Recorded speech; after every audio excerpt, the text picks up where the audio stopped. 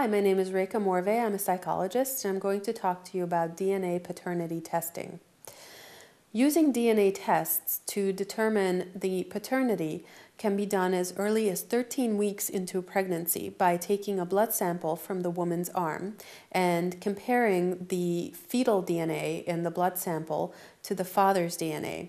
DNA testing is 99.999% uh, effective, which means that in 100,000 cases, 99,999 will be accurate.